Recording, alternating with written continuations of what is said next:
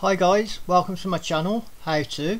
Today I'm making a quick tutorial video. I'm going to show you how to upload any video that you've made or anything you want to put on YouTube. I'm going to show you now how to do it. All you need to do is,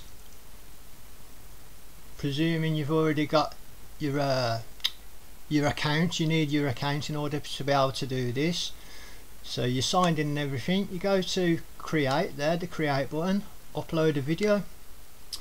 You click on that. Straight away what's going to happen is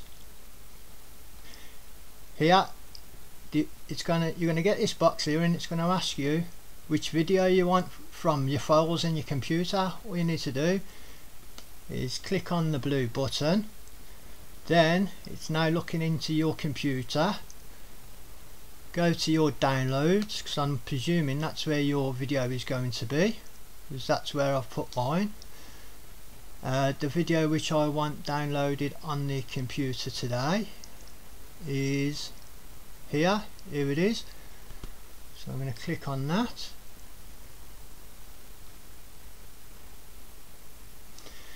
You're going to be left with this option. What do you want to call the video? Well I'm going to call it a tutorial I'll, I'll fill it in properly later. Then a description what you want to say about your video. Your thumbnail if you want to know about thumbnails look in my next video which I'm making which is just the picture what people are going to see as your picture as the sign in all you have to do here is click no that it's not made for children or if it is click let yes if it is you're not allowed to have adv uh, adverts on the video. Go down click on next while you're doing this the video is already uploading onto YouTube.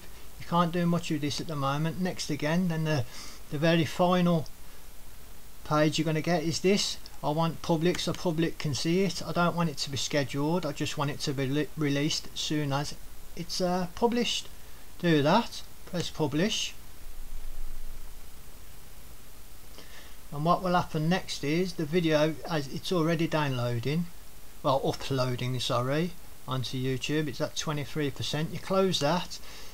Now while it's uploading do not close this page because this box here is showing you 25% of that now. You can you can actually still use YouTube but just you can't come off, off YouTube so that's it.